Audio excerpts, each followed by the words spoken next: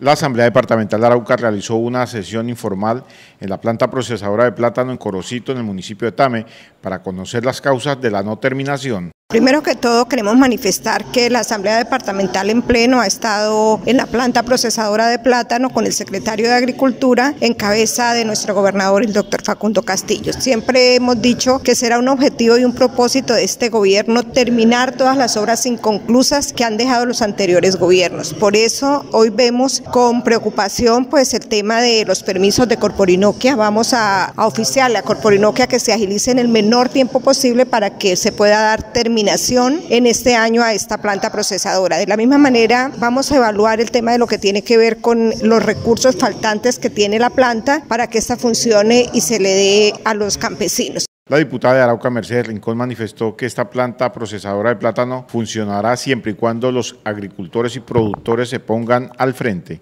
Esta planta funcionará en la medida que los campesinos, los plataneros o los agricultores se empoderen de ella y la cuiden como un patrimonio del departamento de Arauca. Se ha manifestado que es importante el organizarse y en revisar de qué manera se va a poner en funcionamiento, si es con una asociación público-privada o de qué manera se pondrá a hacer. Pero le vamos a pedir también al gobierno departamental en cabeza de la Secretaría de Agricultura que le dé trámite para que se vayan adelantando a la par estos trámites y una vez se termine la planta pueda ponerse a funcionar. La líder política señaló que el representante de la Cámara, Negro Rincón, se comprometió a conseguir algunos recursos a nivel nacional.